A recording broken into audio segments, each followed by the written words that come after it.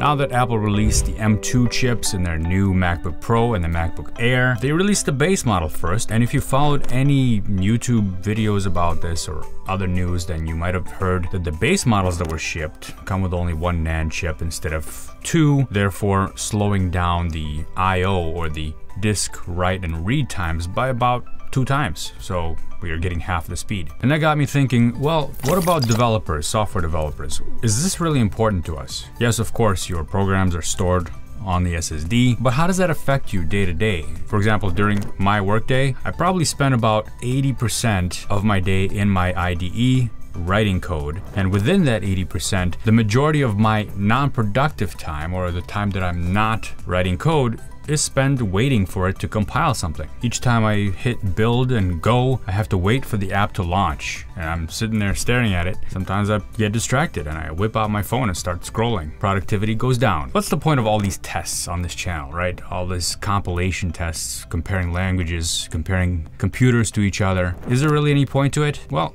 When you're comparing things like the M1 to the M2, not really. There is a very small amount of difference between those two or what gains you can get by going from M1 to M2 for example. But cumulatively, when you're going from an older machine to a newer machine, you are getting that time back. You're gaining your minutes back, which eventually will add up to productivity gained, especially if you're making larger jumps like going from an Intel Mac to an M2 Mac. So with the next set of tests that I want to do for the M2 MacBook Air that I got, this right here is a base model and I'm also getting the upgrade model with more RAM, more cores, and more hard drive space. I really want to dial in the differences that people are going to see from generation to generation of using similar class machines and similar price machines. Now, getting back to the topic of whether hard drives affect our work. I wanted to take it to the test, so I've got some code here. I'm gonna build it, test it out on a built-in hard drive and an attached hard drive, and we'll see the differences there. I've got the MacBook Air. This is the Intel Core i5 variety from 2017. Why am I doing that now and comparing it to the M2 MacBook Air? Because I want to see a big difference. I want to see how much the processor will play a role in the compilations that we're going to do and not necessarily the hard drives or the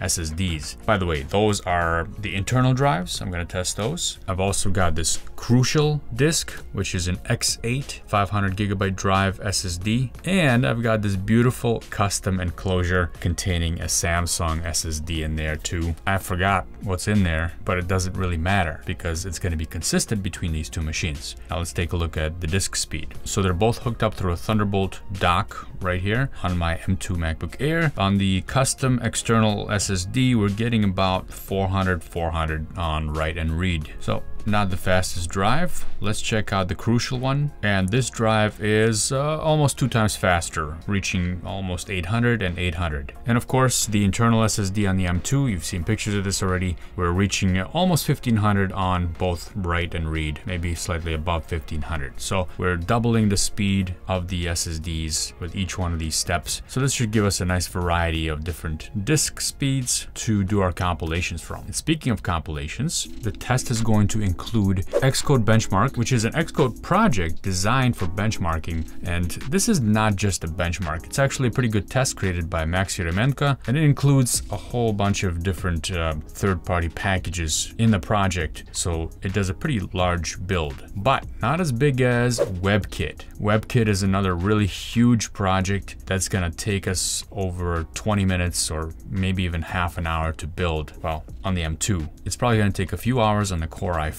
to build that one. So I'm gonna be sitting here for a while. Uh, make sure you take that time to hit that like button because I'm gonna be sitting here for a while. So we've got Xcode, we've got the WebKit, which is actually, it's built using Xcode, but it's a C++ and Java project. And finally, I'm gonna throw in the Python Mandelbrot benchmark, which is going to utilize all the CPU cores that are available and completely max them out. I'll leave links to all these down in the description if you wanna run them yourself, and you'll also find more detailed examples of me explaining each one of these in my previous videos. All right, might as well kick things off with Xcode benchmark, and I'm gonna use the internal SSD for the first test because that's already connected. To run that, I just clone the repository and go into the folder and issue the shell script benchmark, which is going to use Xcode build behind the scenes to do the build. This program actually spits out the time at the end, so I don't need to use the time command to time this. But I do need to use the Schwarzenegger. This will help me execute the commands at the same time on both computers. And let's go. Off they go. Now, we don't really need the Schwarzenegger because this is not a race. We know exactly which one of these machines will finish first. Of course, it's going to be the M2 MacBook Air, not this five-year-old machine. But it's fun anyway, why not? I'll also run this a couple times just to get an average. Now, what's interesting here is pay attention to the temperatures that we're reaching. So the Intel box is actually allowing us to reach 103 degrees Celsius. Yes, this model of MacBook Air does have a fan in it, so that's kicked up. Over here on the M2, there is no fan, and Apple decided that it's acceptable for this machine, this processor to reach 108 degrees Celsius, and I believe 110 degrees from what I've read is the absolute top limit. You don't want your processors getting to that, at which point things will go really bad. Now, even reaching 108, I don't know what that means for the longevity of the device, but we're talking about Apple here, and they have very smart engineers working there. Don't believe all the YouTube videos that say 108 degrees is really scary. Yes, it's higher than we've seen before, but we also have very smart people with engineering degrees that have been working at Apple for many, many years, building on that experience, allowing 108 degrees to happen. And guess what? This one's done and we've got 130 seconds here. So I'll enter that into my notes and I'll run this a few more times and I'll be back to do Python. I'm starting to realize my mistake here. I shouldn't have picked this old machine to do this on because that took 884 seconds, almost 15 minutes, and that's just one run. So this is gonna take me a while. I already said that, didn't I? I just want you to feel my pain. Doing this for you, by the way. Hit that like button. All right, now we're gonna be doing the Mandelbrot test here. So I've already copied the code from Benchmarks Game website. You'll find that down below. And I've created a new environment in Conda called Py38, which is Python 3.8. That's where I'm going to execute my code. By the way, the keyboard on the M2 MacBook Air is just fantastic. I love it. Listen to that. That's the keyboard. Here's the older keyboard. The other day I was typing on this, my wife said, are you gonna be doing that all night? I was in front of the TV with her. Anyway, here I do have to use the time command because this program does not spit out the time. So time, python, and then uh, main.py, and I give it the parameter 16,000 because that's what's in the benchmark documentation. You can vary that parameter depending how long you want the test to execute. And I will pipe the output to dev slash null. So we hide that. Ready to go. Let's do it.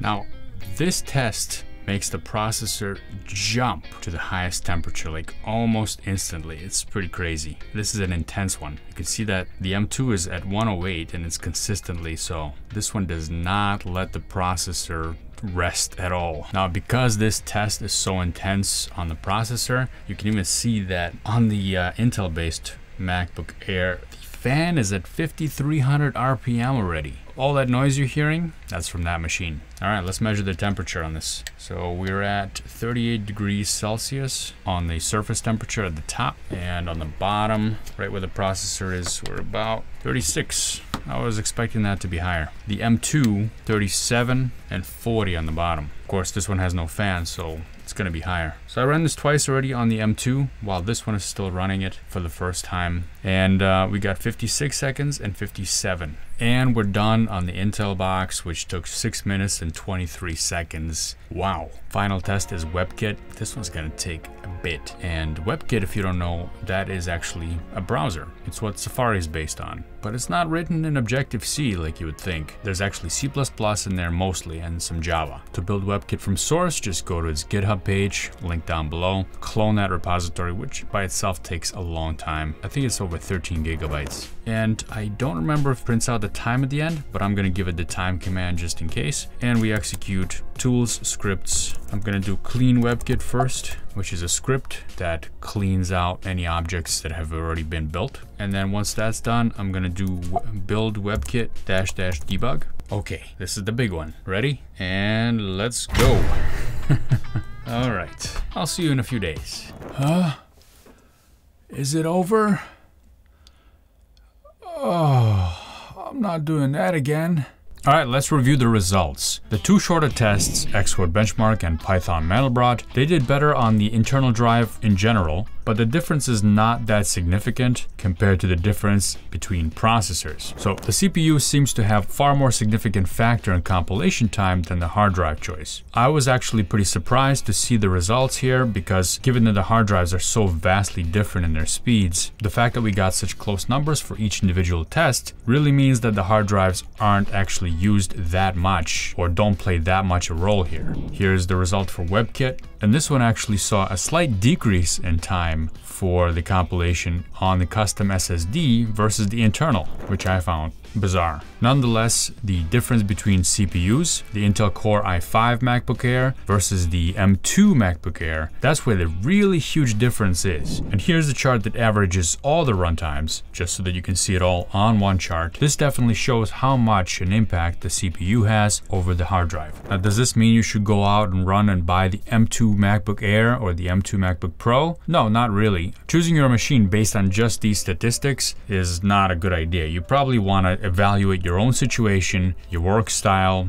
and your budget because you're gonna need a big budget to get the new M2s. All right, that was a long video for me to shoot.